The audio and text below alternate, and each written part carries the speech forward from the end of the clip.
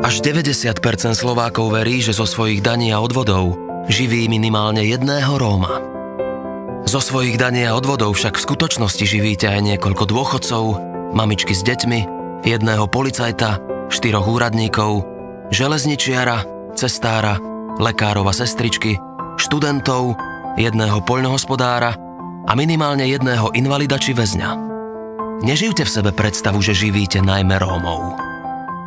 Z vašich daní a odvodov ide na sociálne dávky pre mnohopočetné rodiny menej ako 0,3